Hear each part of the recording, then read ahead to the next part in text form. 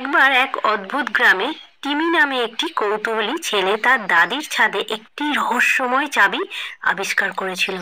এটি বনের গভীরে লুকানো একটি মন্ত্রমুগ্ধ বাগানের দিকে পরিচালিত করেছিল। বাগানে কথা বলা প্রাণী এবং রঙিন ফুল তাদের গোপনীয়তা প্রকাশ করে। তারা একটি ঘুমন্ত ড্রাগন তাদের বিশ্বকে হুমকির বিষয়ে সতর্ক করেছিল। টিমি নতুন জ্ঞানে সজ্জিত একটি অনুসন্ধান শুরু করেছিল। সাহস এবং চতুরতার সাথে তিনি ড্রাগনকে ছাড়িয়েছিলেন। ভিতরে একটি পরোপকারী আত্মা জাগ্রত করেছিলেন। মন্ত্রমুগ্ধ বাগানটি ফুটে উঠল, গ্রামে আনন্দ নিয়ে এলো। টিমি শিখেছে যে সাহসিকতা এবং উদারতা এমনকি সবচেয়ে ভয়ঙ্কর সুন্দর চ্যালেঞ্জগুলিকেও সুন্দর অ্যাডভেঞ্চারে রূপান্তর করতে পারে।